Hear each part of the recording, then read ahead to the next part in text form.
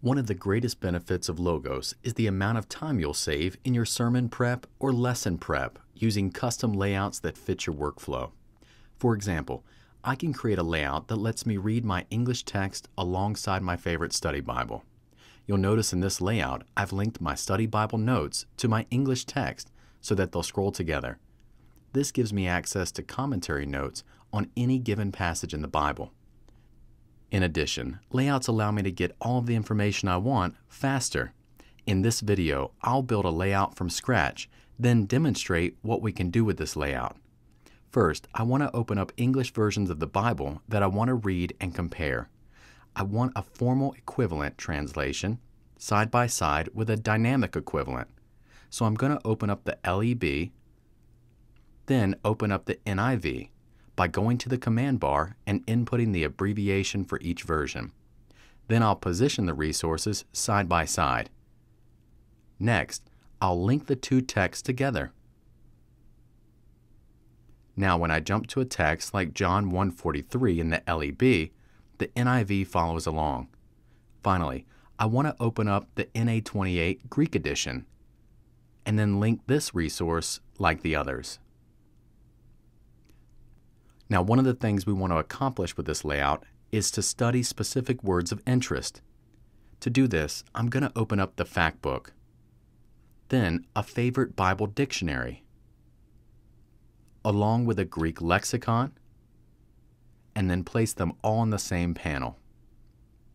These tools and text are going to allow me to study English terms, Bible concepts, and Greek lemmas.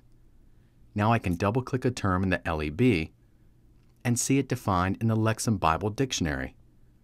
Or I can double click a term in the NA28 and jump straight to that entry in BDAG.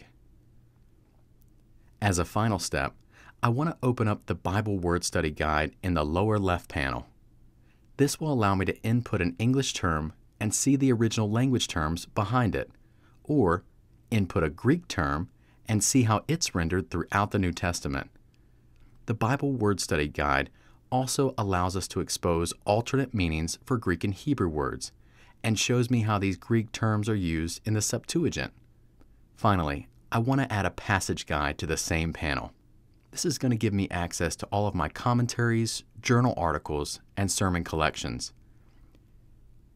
Now, when I'm reading through a text like John 1:43 through 51, I can first compare English translations. Notice that the LEB says that Jesus wanted to depart from Galilee, while the NIV says that he decided to leave. I can also double click on this term in the NA28 and see it defined in BDAG, or enter a term of interest into the Bible Word Study Guide and see how this term is rendered throughout the New Testament. I can also click on an unfamiliar place or concept and see this defined in my favorite Bible dictionary or go a step further and enter the term into the factbook. This layout also allows me to consult commentaries to gain insight or test my findings against other trusted scholars. Finally, I can browse relevant sermons to round out my points of application. This section of the passage guide is going to show me hits from my sermon collections, which I can open with just a click.